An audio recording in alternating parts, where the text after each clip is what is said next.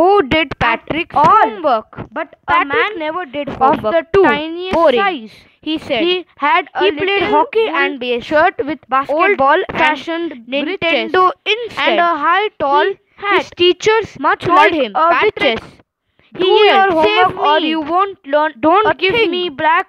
Don't And give me back true. to the to that Sometimes he did feel I will like grant an you a wish. ignore I promise ignore you that. uh, Ra- Ramos Patrick couldn't believe But how lucky he could was. he do? He He was uh, homework. The an- here was the Then answer one to all he found of his cat. So he said, "Only a little do doll and he grabbed homework till the away. end of To his surprise, it wasn't a semester. That is 35 days. If you do a good enough job, I could even get a S. The little man's is face the little man's face wrinkled like a dishcloth thrown in the hamper. He kicked his legs and dubbed his fists, and he grimaced and, scow- and scowled and pursed his lips. Oh, I am I cursed, because, but I will do it.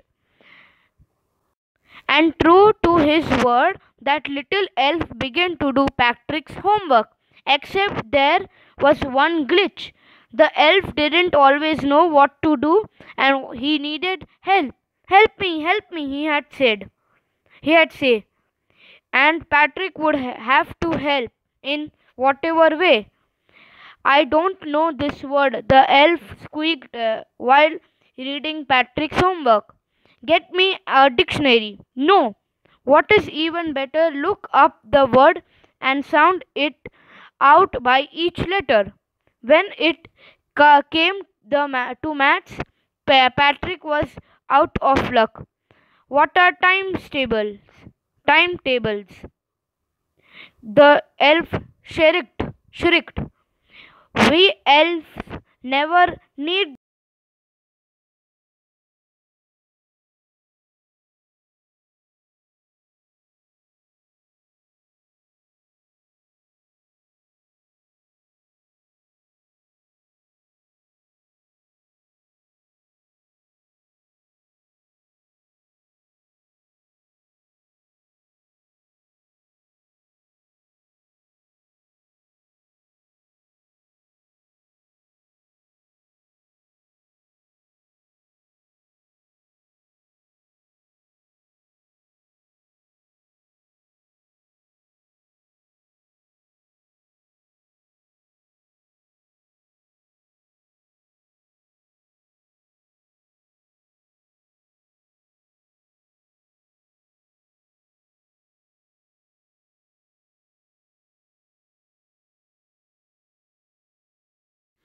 and addition sub- and subtraction and division and fractions.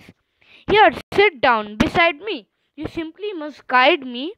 Elves know nothing of human history. To them, it is a mystery.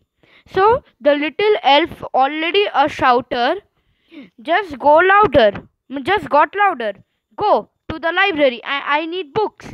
More and more books, and you can help me read them too.